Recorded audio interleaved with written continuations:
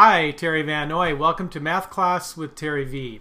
Hope this video helps you out, and if you enjoy it, please share it, comment, or like it. And you can also go to my website, mathpowerline.com. It's a math resource blog, uh, lesson videos for students, and other resources for parents and teachers. Give me a call or go to my website or email. All right, let's go to today's lesson. Take a look at these three examples. Jill notices that five students out of 21 in class raised their hands. What percent of the class is that? Or uh, if 12 students can watch the game from a VIP booth at the stadium and they represent 15% of the fans in attendance, how many students were at the game? And the last example is on a survey of 300 people, I want at least 20% of them to be older than 40. How many people would that be?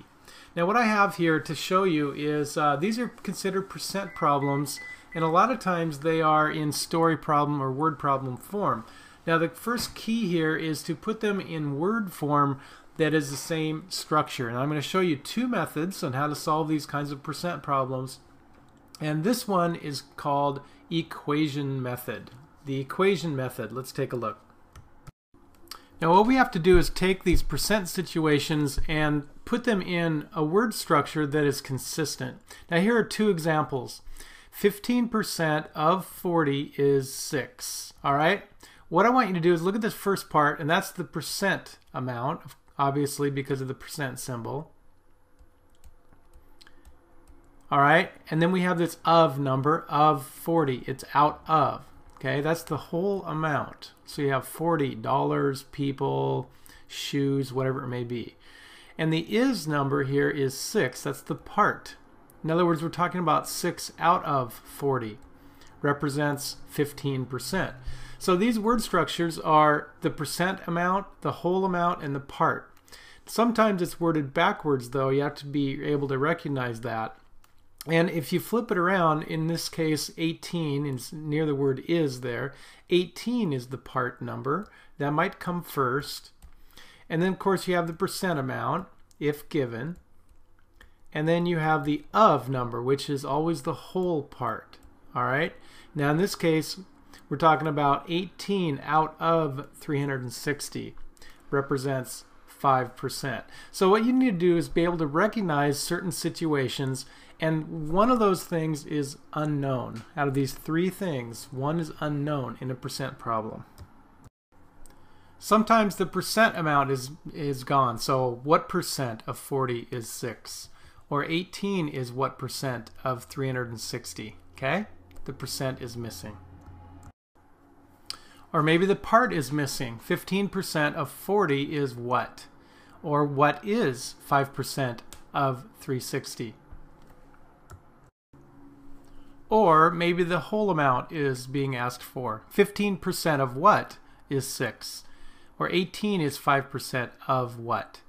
All right, you have to be able to think of these percent problems in those kinds of structures. Now this equation method looks like this. You just need to know three things. First of all, the word of always means multiplication, and I'm going to use a multiplication dot there. So I'm going to just write multiplication right below it. And the word is means equals. All right? Is is equals. Now, whenever it's a, a what, of course, that's going to be my unknown. I'm going to go ahead and just represent x there. And the x could be different things. Could be the percent amount or the part amount or the whole amount. And the last thing you need to know is the percent, if given, is always a decimal. So I need to think of that as 0.44. And then drop down my 78. So all I do is I translate it from a word problem into an equation. So here it would be 0.48 um, times 54. All right, now in these two cases, which happen to be the same structure, it's just plain old multiplication. I'm going to do 0.44 times 78, and that will give me my what number, the whole number. Here it's 0.48 times 54. And here are your two answers rounded to the nearest tenth, 34.3 and 25.9. Alright, if you think you know what to do, hit pause on this video and try the next two. And I'm going to, um, in a few seconds, work it out with you. Alright, number three. What is, so x equals 51%, change that to a decimal, 0.51. And then of, remember, is always multiplication, and 158.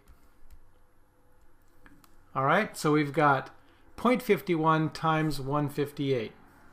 Number four, what is 54% of 134? All right, multiply that out, make sure your decimal is in the right place. 80.6 and 72.4. Now those four problems are all done the same way. Let's look at some other examples. Now we're going to mix it up a little bit. Again, we're using the equation method, translate the words into an equation. Number 5, 55.7 equals what percent, so there's your x, of 153. All right, now think about it. Just a simple equation. How are you going to get x by itself? That's right. You're going to divide each side by that 153 number. All right, now in this case, you have to be careful about this. If they're asking for a percent, after you divide, you have to move your decimal point back over. All right, so go ahead and do that and divide 55.7 by 153 and then move your decimal back to the right two places to make a percent. Number six, 78 is what percent of 150? Again, we're going to divide both sides by 150 and then your answer is supposed to be a percent so after you divide make sure you move your decimal over and these other two problems are the same way 13 equals what percent of 156.1? Divide both sides by that number. And you're going to move your decimal point over after you divide. All right, you're looking for a percent. And finally, number eight, what percent of 159 is 135. Notice how I translated the words there. So you're going to divide this case by 159 in both places and then move your decimal over because they are asking for a percent. So here are the answers. Note the percent sign and the decimals moved over. Alright, I want you to try four more. In all of these cases, the of number is missing. That's the whole amount. And again, translate into an equation and make sure that your answer is in the proper form. Good luck. All right, number nine, 55 is 74, don't forget to change it to decimal, times x. Or 111 is 71.71 times x. And 0.77 times x equals 31. And 0.80, or I can leave the zero blank, I can drop that zero, times x equals 136. That's how you translate it into an equation. Now let's solve. You're going to divide both sides by 0.74.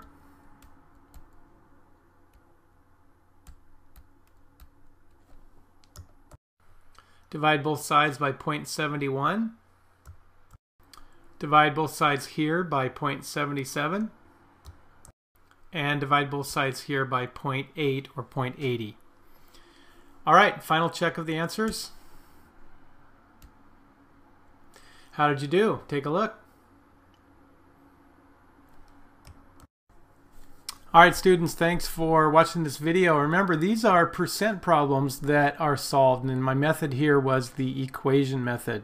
Now look for the next video in this series, which is the proportion method, solving a proportion from these percent problems.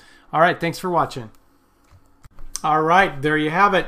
I invite you to go to my website now, mathpowerline.com, or email me or give me a call. The way I work best with students is live online in my classroom.